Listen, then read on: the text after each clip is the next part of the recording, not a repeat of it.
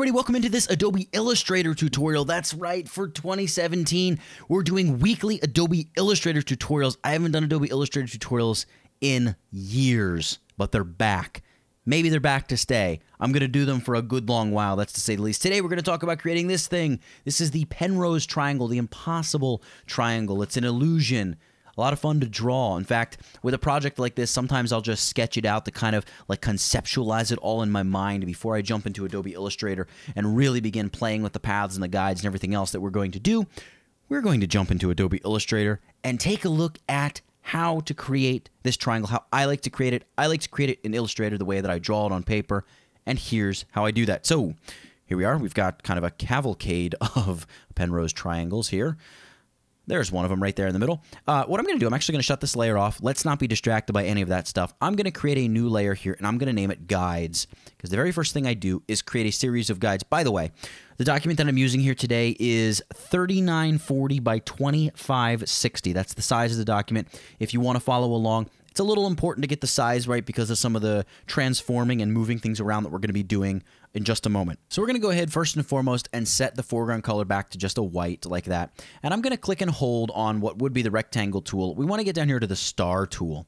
I'm going to drag out a star. You think it's star? Why star when we're drawing a triangle? Well, because if you hit the down arrow key one, two times, look at that, we're left with a triangle. Hold down the shift key and let go, and we get a nice big triangle kind of like that.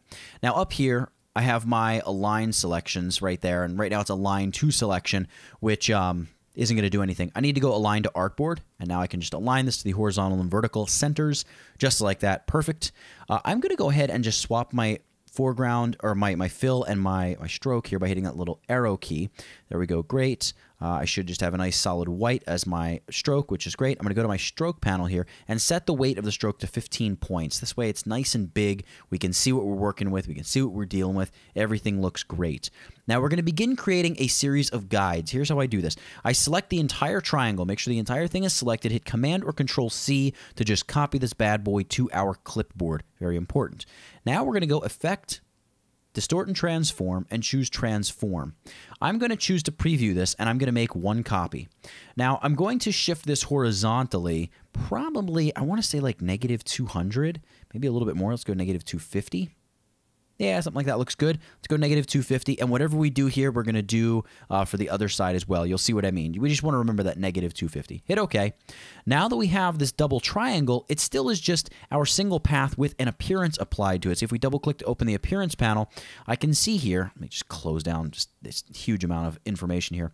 I have this transform applied as a sort of live effect. It is, in fact, a live effect. It's an appearance applied to that path. We want to make it another path. So we're going to go Object Expand Appearance. Take that appearance and expand it out to a path. Voila, two paths. Great. This is grouped together. Um, typically, we want to ungroup it. What we really, we really don't have to here. We're going to go uh, Window and choose Pathfinder. We want to open our Pathfinder panel and choose this little icon here. It's the minus back option. It's going to get rid of everything but this one sort of piece of the triangle. Now, remember we copied our triangle to our clipboard. We'll go ahead and paste it in place by going Edit, Paste in place. Well, I'm sorry, not paste in place. Paste in front. We want to paste this guy right in front and the hotkey is Command or Control F. We'll be using that as we continue on in this tutorial. And there we go. The whole triangle is back. We need to do this again. Effect Transform. And we need to push the horizontal 250 to the right. So I'm just going to go 250 positive, not negative 250, but 250 plus. We're going to check preview on. You can see it move to the other side. Great. Hit OK. And we're going to do that same thing. Object, expand appearance, voila, and minus back. Now, once more, Command or Control F to paste that in place. Effect, transform. We can fly through this quick. Set horizontal to zero. We want to go negative 250 on the vertical. Preview it. Looks great. Hit OK. Object, expand appearance, and minus back. All right, so now that we have our first three shapes all overlapping like this, we want to make guides out of these. So what I'm going to do is I've selected them all just like that. We're on our guides layer. We, we named it guides. We're going to go view. I have smart guides turned on. I also have snap to point turned on. This is going to be important in just a moment. But for now, we want to go guides, make guides. And you can see I've got these guides showing up over my dark blue background. And now that we have our guides, we're ready to make even more guides. But we need a triangle that is exactly the size of this innermost triangle. We're going to use the pen tool here. And when I hover, you can see because Smart Guides is turned on, I get a little indicator that says, look, intersect, which means that I'm going to drop an anchor point exactly precisely where those two paths intersect. I click, great. Let's drop one down here where the paths intersect, here where the paths intersect, and then here on anchor, it's going to close our triangle, and we have a perfect triangle, the exact size of that innermost triangle. Now we want to copy this triangle to our clipboard by hitting Command or Control C, and we're going to go through that whole song and dance of transforming once again. Effect, transform. This time we're going to preview this. I'm only going to go like negative maybe 150.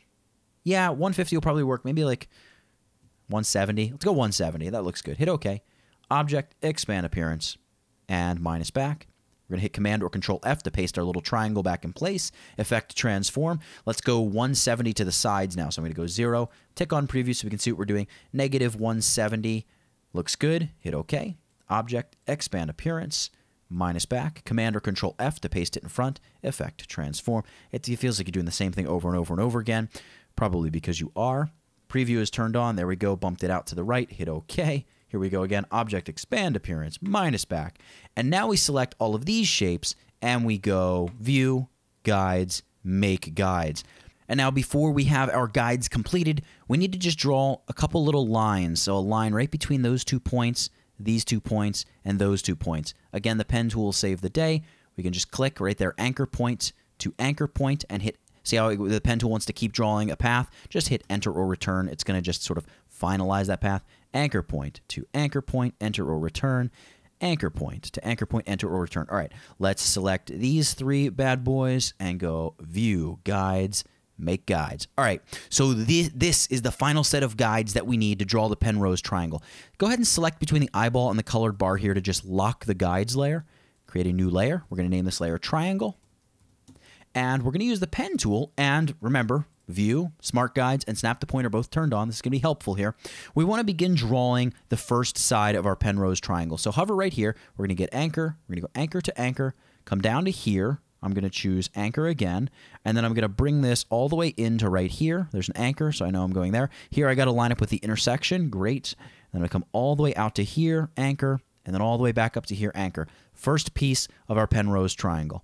Now I'm going to select down here where, oh, see I hit guide. I'm going to command or control Z to undo that. So I want guide. I want to land on the anchor point, anchor point.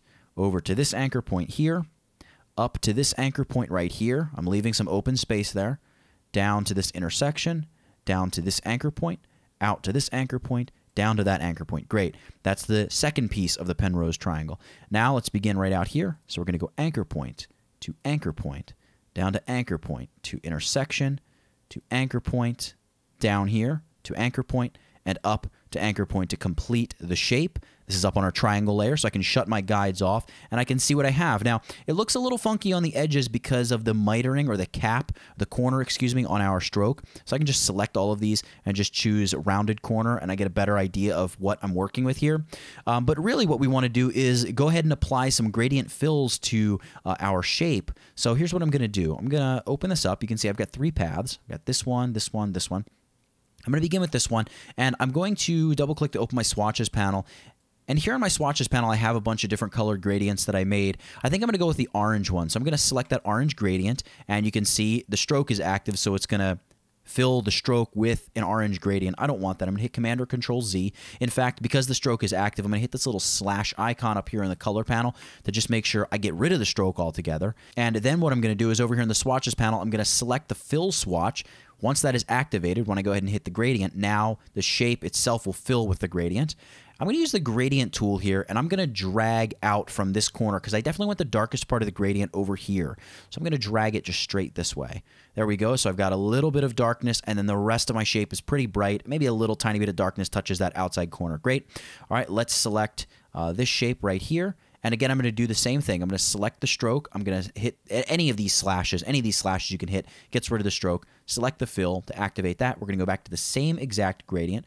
Grab your gradient tool, and we're going to drag a gradient out of this little corner area. There we go.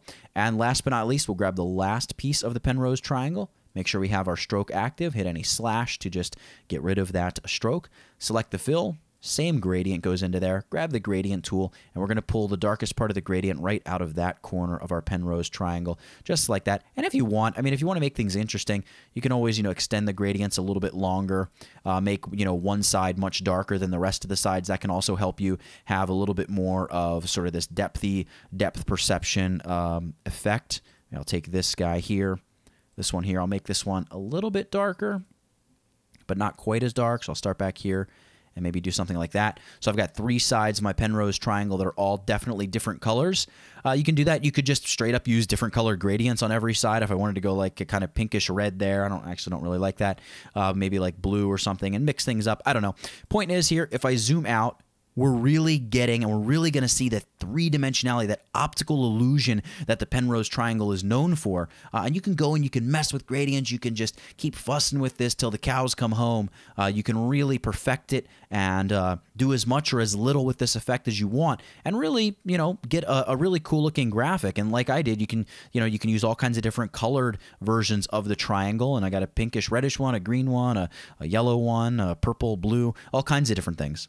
So that's going to be pretty much it for this one. If you enjoyed the tutorial, please hit the little like button down below. Make sure you subscribe to my channel as well. That way you never miss any of these videos uh, in the future. Also, drop a comment below if you enjoyed the tutorial, if you learned something new, something like that. Or if you have an idea for an upcoming Illustrator tutorial, something you would like to learn, something you would like me to cover, go ahead, leave a comment below. I'm always looking through the comments, and I love the suggestions that come out of the comment section. Such good stuff. So, for the Penrose triangle, the impossible triangle, the illusion, this little guy here that I somehow was able to sketch out with pen and pencil. That is it.